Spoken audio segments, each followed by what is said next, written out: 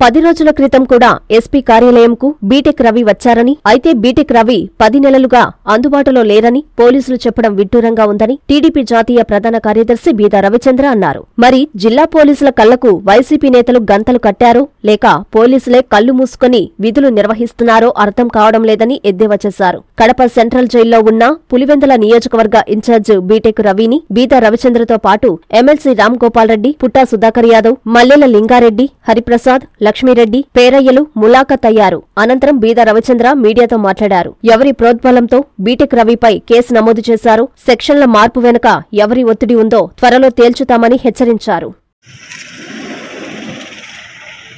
YSR Congress party అధికారంలోకి వచ్చిన నాటి నుంచి ముఖ్యమంత్రి జగన్మోహన్ రెడ్డి గారి పాలనలో ఎందుకు అరెస్ట్ చేస్తున్నారో తెలియదు ఏ కేసులో అరెస్ట్ చేస్తున్నారో తెలియదు అరెస్ట్ చేశాక కోర్టుకు పెట్టేంత వరకు కూడా ఏ కేసు ఏ సెక్షన్లో చెప్పే పరిస్థితి లేదు పోలీస్ డిపార్ట్మెంట్. ఈరోజు పులివెందుల నియోజకవర్గ తెలుగుదేశం పార్టీ ఇన్ఛార్జి మాజీ శాసన మండలి సభ్యుడు రవీంద్రనాథ్ రెడ్డి అరెస్టు. జనవరి ఇరవై ఐదో తారీఖున నారా లోకేష్ గారు యువగళం పాదయాత్ర ప్రారంభించే ముందు కడప ఎయిర్పోర్ట్లో వెనక వస్తున్నటువంటి నాయకుల కార్లు కూడా అలౌ చేయండి అని చెప్పడం ఓ కేసు. దానికి పది నెలల నుంచి రవీంద్రనాథ్ రెడ్డి గారు అందుబాటులో లేరంట. పోలీసులు కనపడలేదంట. మధ్యలో పోలీస్ డిపార్ట్మెంట్ని కేసు పెట్టారంటున్నారు. ఆ కేసు వివరాలు అడిగినా ఏమి లేదులే సార్ ఏదో ఒకటి పెట్టి కేసు పెడుతున్నామని చెప్పిన పరిస్థితి పోలీస్ డిపార్ట్మెంట్. ఈరోజు కోర్టుకి నిస్సిగ్గుగా కడప జిల్లా పోలీసు నిస్సిగ్గుగా మ్యాజిస్ట్రేట్కి అందుబాటులో లేడు అప్స్టాండ్ అని చెప్పినటువంటి పోలీస్ డిపార్ట్మెంట్ ఒకటే అడుగుతున్నాం. రవీంద్రనాథ్ రెడ్డి పాస్పోర్ట్ రెన్యువల్కి అప్లై చేసినప్పుడు ఈ జిల్లా ఎస్పీ కౌశల్ ఇక్కడ ఉన్నటువంటి ఇతర డిపార్ట్మెంట్ ఏమని ఇచ్చారు? త్రీ ఫిఫ్టీ త్రీ ఇచ్చారు.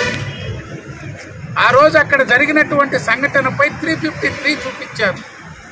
పాస్పోర్ట్ రెన్యువల్కి పోయినప్పుడు. పది రోజుల క్రితం ఎస్పీ గారిని కలిశారు రవీంద్రనాథ్ రెడ్డి. ఎస్పీ ఆఫీస్లో సీసీ ఫుటేజ్ ఉంటే చూడవయ్యా. మ్యాజిస్ట్రేట్ కూడా అబద్ధాలు చెప్తే ఎట్టు మీరు పది నెలల పాటు కనిపించలేదంట ఆయన. మేలో జనవరి ఇరవై ఐదున సంఘటన జరిగితే మేలో సర్టిఫికేట్ తీసుకొచ్చారు.